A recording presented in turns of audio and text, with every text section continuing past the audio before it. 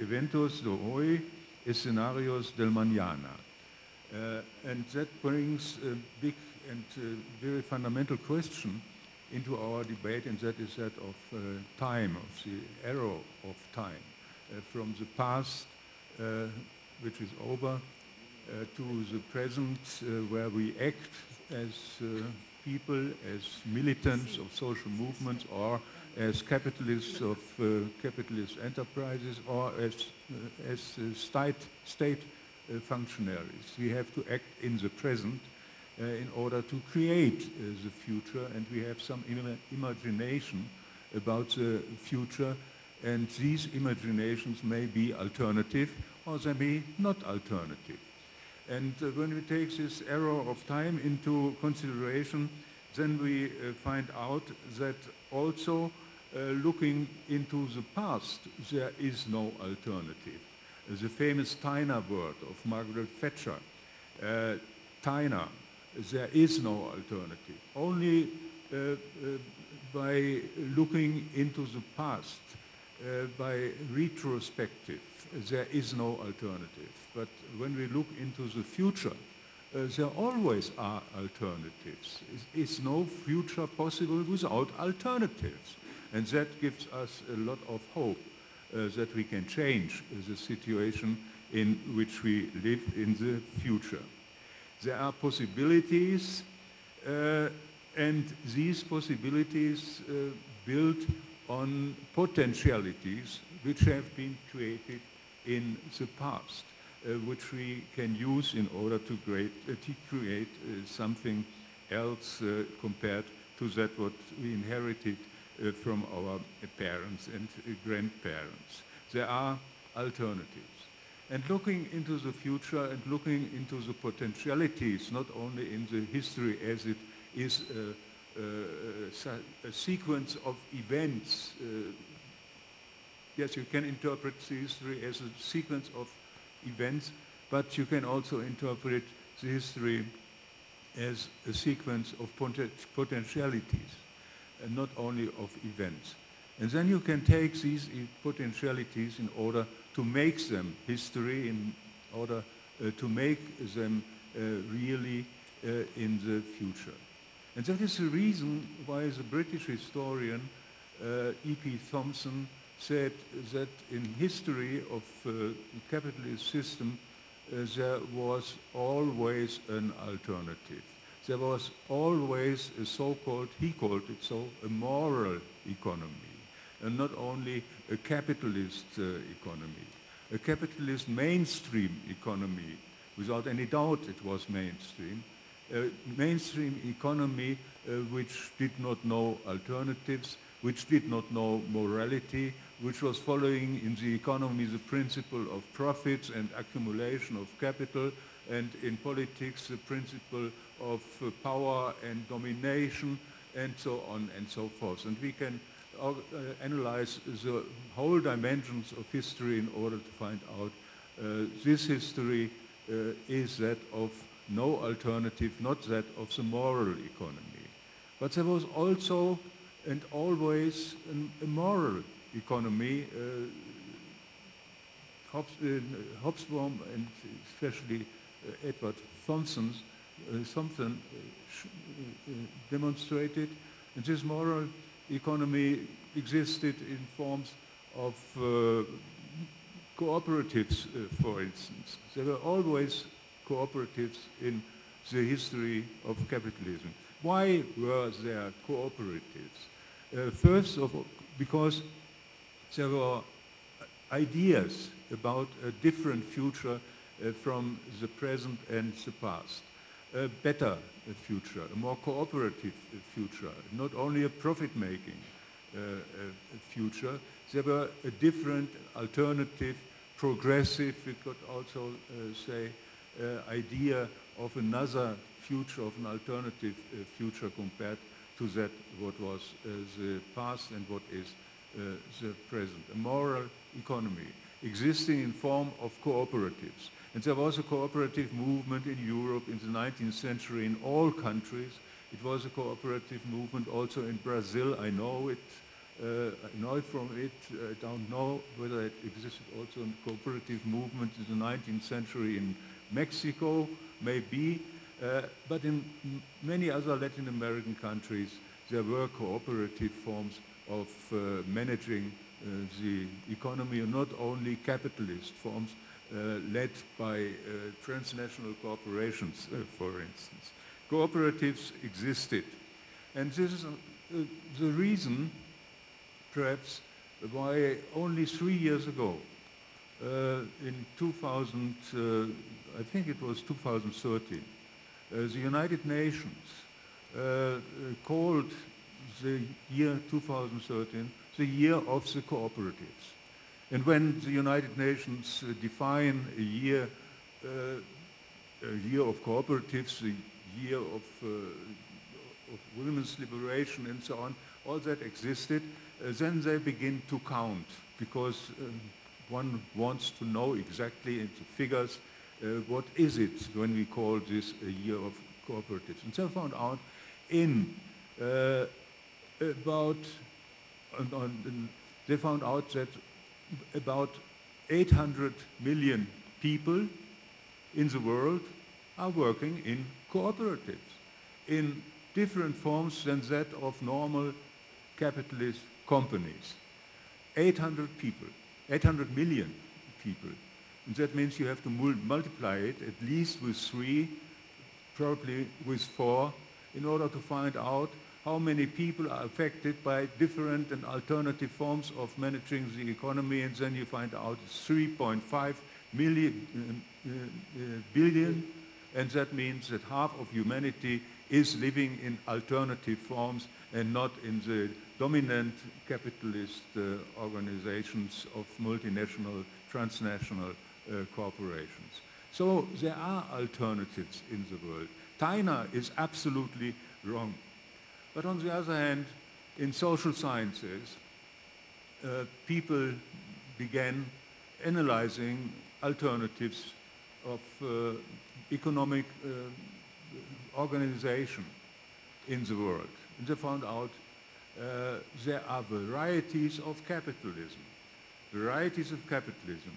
A uh, an Atlantic form of capitalism, uh, influenced above all by the American mode of organizing capitalism and the British mode, therefore Atlantic, form of capitalism. And then they found out, but there's also a Rhenish form, a continental, European continental form of capitalism, which is uh, quite different from the Atlantic form. Uh, not so much based on shareholder value, but on cooperation and uh, on, uh, uh, on, on uh, on uh, including inclusive forms of uh, the, the, workers, workers' co-determination and all that plays a bigger role, but that are only alternatives in the capitalist mode of organizing the economy, alternatives within capitalism. And the others, the cooperatives, for instance, are alternatives of capitalism already um, coming up into existence uh, within capitalism. That's a, the dialectics and, and the, the, the, contradictory development of these alternatives that they always and inevitably have to uh, be built in within capitalism in order to overcome uh, capitalism. And that is uh, not so easy. Well, this kind of cooperative alternative, which was also present in, in the existent in the past, in the, in, in, uh, in the present today, they are very, very important. Uh, and then we have to make another uh, distinction. First of all, these alternatives come because of an utopian surplus, we could call it. Uh, because of new ideas beyond that what is uh, reality uh, today in order to create something uh, new. And many people uh, followed utopian ideas and tried to exploit this utopian surplus uh, which you find in uh, many layers of uh, our societies in Latin America as well as in Europe, uh, there is not so much difference. There's a difference in as much uh, these alternatives are constructed or, uh, or idealized or imagined. That is very different. And you find these alternatives, these utopian ideas everywhere, as I, as I said, uh, and uh, you find them also realized, but only once they are not only ideas of an utopian surplus, uh, but an answer, a response on challenges of the reality, of uh, the crisis tendencies of uh, our times. And you find out when you follow this idea that there were alternatives always uh, emerging, coming up, uh, when capitalist uh, development was in a crisis.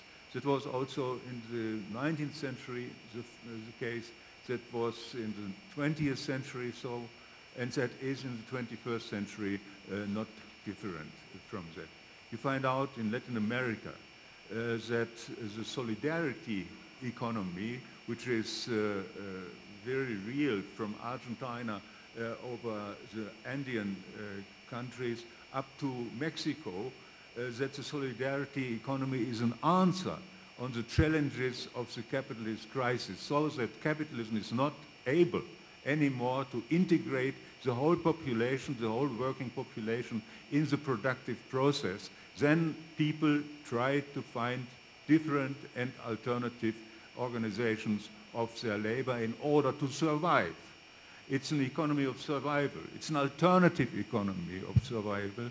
And because it's an economy of survival, it is, the alternative is very, very often, too often, I would add, and precarious, precarious alternative, precarious way of organizing labor and organizing uh, life.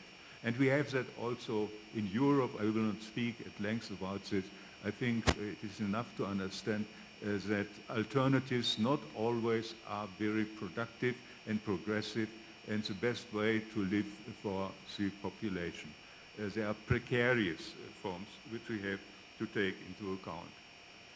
And we have another problem to take into account. In uh, the years after the Second World War, uh, in the last century, uh, we had uh, the so-called in French Trente Glorieuses, uh, the economic miracle it has been called in Germany and other European countries. There was no idea of an alternative because capitalism was the alternative. The alternative to the socialist camp, to actually existing uh, socialism. So uh, the non-alternative of capitalist development was, at the same token, also the alternative to the alternative to the alternative of the socialist camp uh, uh, beyond the uh, Berlin Wall. And uh, so there was no idea of an alternative because it was so complicated to organize it uh, in times where capitalism seemed to be the victorious social uh, formation. Why an alternative to a social formation which is successful. You only need alternatives when it is not, su not successful. And this was also uh, uh, confirmed by the collapse of actually existing, existent uh, sociali uh, socialism in 1989 when the Soviet uh, system collapsed and so on why thinking alternatives in such a, such a situation? Uh, but it needs on, needed only a couple of years and then we had to think again on uh, alternatives.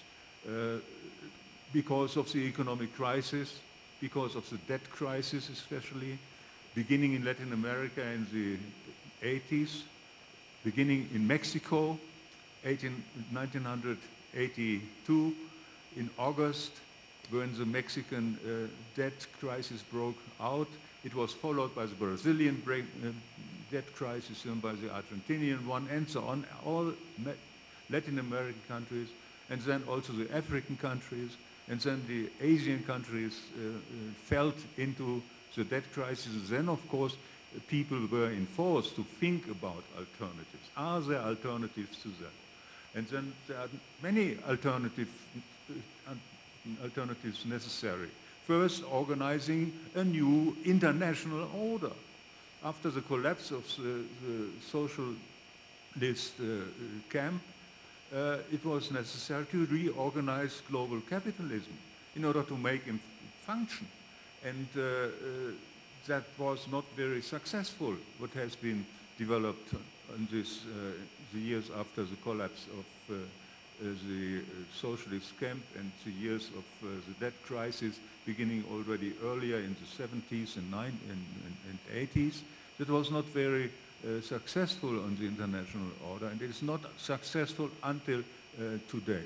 And uh, we can see this very clear uh, in the dynamics of uh, capitalist development, capitalist crisis development, because the debt crisis as an international crisis developed, uh, spread from the United States and then from Latin America, it was a Latin American debt crisis. Uh, to Asia, it became an Asian debt crisis in the 90s. Uh, then it swept to the United States as uh, the subprime uh, crisis and the new economy uh, crisis at the beginning of the new, uh, new millennium and the new century in 2001 it became an American, a North American debt crisis. And Then it swept to Europe, to the old continent, uh, as a European uh, crisis, a Euro crisis. It became the crisis of a new, uh, uh, uh of, of uh, the new European money. And in Europe it became particularly a crisis of the Mediterranean countries, of, of Portugal, of Spain, uh, and extremely uh, heavy in uh, Greece, and this crisis is not over until today. And then we need, again, alternatives to that.